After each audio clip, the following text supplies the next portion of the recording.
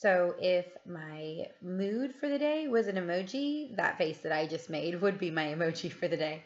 I have been so grumpy today, y'all. And there's a couple different reasons for it. I didn't sleep well. My routine is all off and I'm feeling a little bit isolated these days. We're not getting to see a lot of people.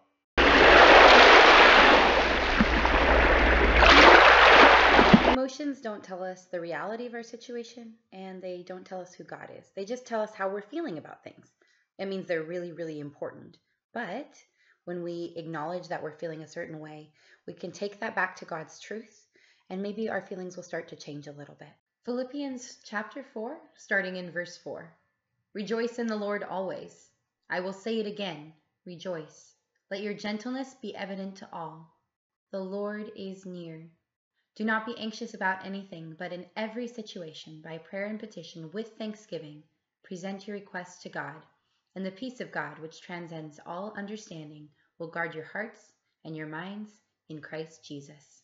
Finally, brothers and sisters, whatever is true, whatever is noble, whatever is right, whatever is pure, whatever is lovely, whatever is admirable, if anything is excellent or praiseworthy, think about such things.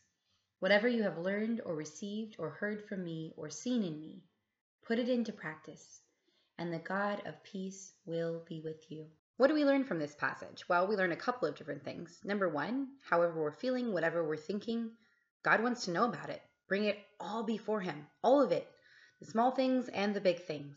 Um, what you think and feel matter to God. And secondly, when we're having anxiety, we can bring that before the Lord and we can walk through it with Him right? It says, in every situation, by prayer and petition with thanksgiving, present your requests to God.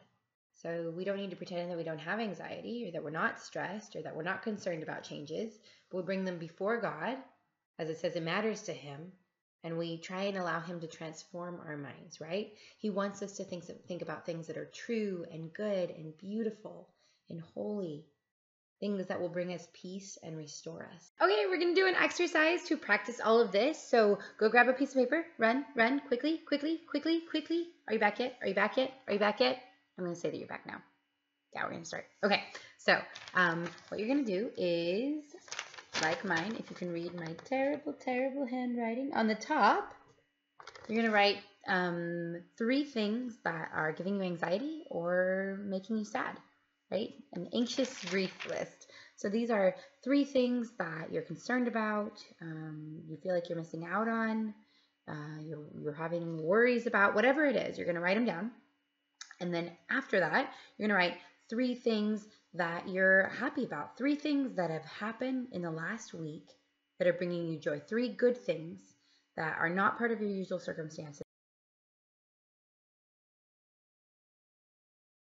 In verse 6, it says, Do not be anxious about anything, but in everything, with prayer and petition, with thanksgiving, present your requests to God. So now we're going to get to do that. You have three prayer requests, right? Three things that are on your heart that's worrying you or that you're sad about, and three praises. So now you're just going to say, Hey, God, um, these are three things that have been making me sad. These are, this is the situation that I'm anxious about. This is something that's been concerning me. This is where my heart is hurting and you can just talk to God about it. If you haven't done that before, that's great. It's a great time to start. You have everything written out. Just talk like you're talking to a friend, right? And then at the end of it, your praises. You get to rejoice with God about three things that have happened during this time. I get to say, Jesus, I am so incredibly grateful that I am more in contact with my friends than ever because that matters to me and it's mattered in our relationships and I feel closer to some of them because of it. That's going to be one of my praises. At the end of it, you say amen. And now you've just taken some time to mourn and to praise and rejoice and talk to God. I would be really surprised if after doing this exercise and spending time praying over God with these things with God, you didn't feel more at peace, right? I feel more at peace. I've known Jesus a long time, and a simple exercise like this, reminding me where I'm sad, but trusting that He's at work in these situations, reminding me of the things that He has done recently through this situation, it's brought me a lot of joy. That's what it says at the end of this passage. And the God of peace will be with you. We can trust that the God of peace will be always with us. So it's awesome to create some space in our lives to spend time with Him and to receive that peace. I hope that you've been encouraged by spending time with God today, and I'll talk to y'all soon. In honor of completing this video, we're going to eat some chocolate chips. Oh, wow. Oh, gosh. oh. oh.